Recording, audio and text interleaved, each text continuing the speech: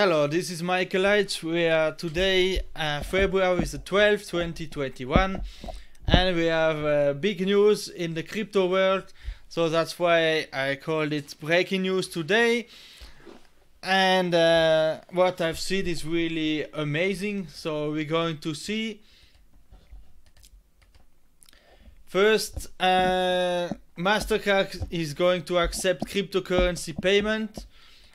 Miami mayor is going to pay salary in bitcoins. And the first bitcoin ETF is approved in Canada which is really big.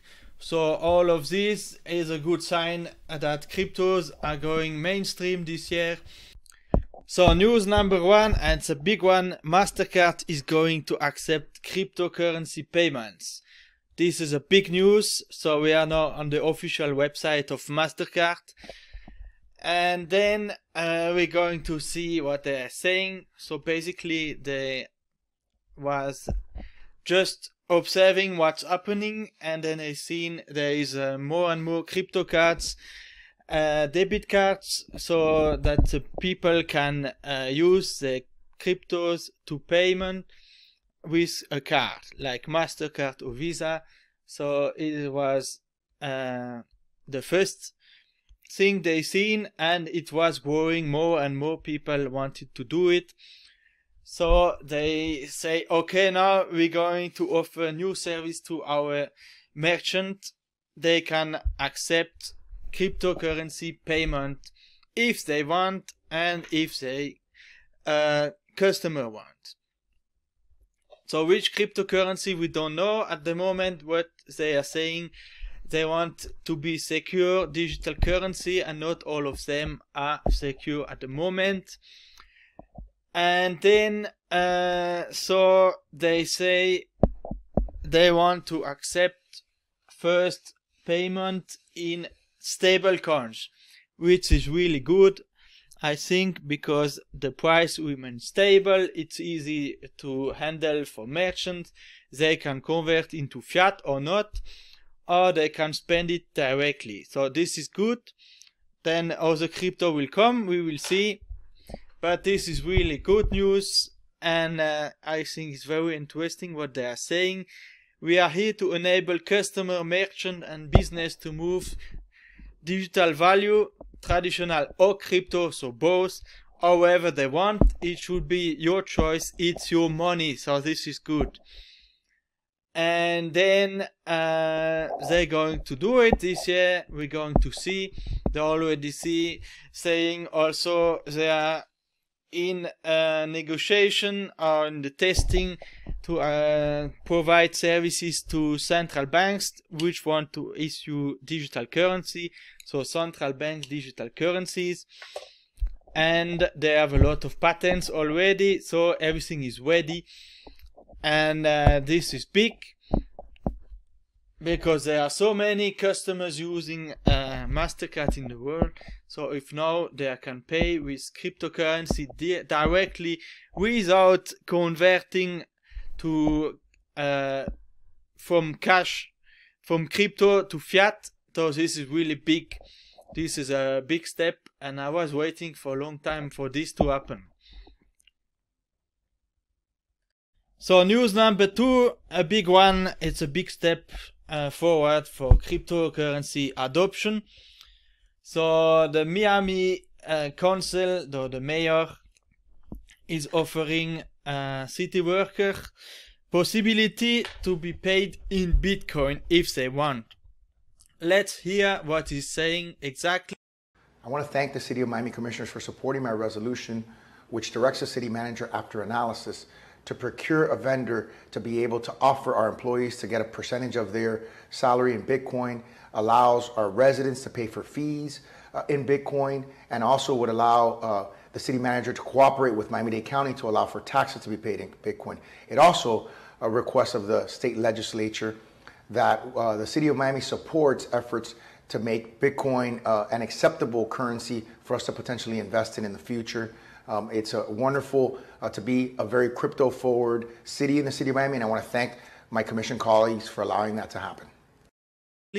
So this is quite big because he's saying the people from the employees from the city they can choose to be paid in bitcoin first then uh, the resident can pay fees in bitcoin can pay tax in bitcoin and the merchant in the city can accept cryptocurrency so bitcoin as a payment which is big. And also speaking about investment kind like uh, the city maybe is going to buy some bitcoin as an investment. So this is really a big news and i'm really happy that uh, some people are moving the things forward. And uh, this is one of the first but uh, it will be another and another and it's going more and more. So this is really good for bitcoin and for cryptocurrency. So news number three, also big one. It's the first time an North American Bitcoin ETF is approved in Canada. So not in USA, but it's uh, something. It's better than nothing. And the SEC from Canada has approved the Bitcoin ETF. And now it's possible for investors from all Canada to buy this ETF, which is big because anyone who has a trading account, most people have it in the bank, they can go there, search for this ETF, and then invest into Bitcoin. It's not a direct uh, investment in Bitcoin, it's an instrument which replicates the performance and the price of Bitcoin minus the fees and expense of the product but is really good because anyone can buy it and then take advantage of the bull run of the price going up from bitcoin without buying in the any cryptocurrency which is still a bit difficult for the normal people so this is good it's the first time this is happening. There was a lot of attempts. It was always rejected. So this is really good. And uh, it's another sign that the crypto adoption in this year is going massive and is going to be really a good year for cryptos. So that's all for today. It was already a big news, I think.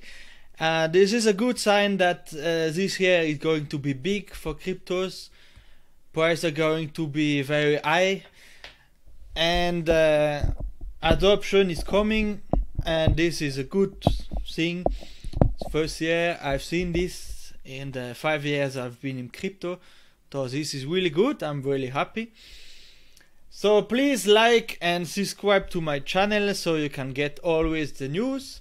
Click the bell to never uh, miss any videos and if you want comment in the comment section below.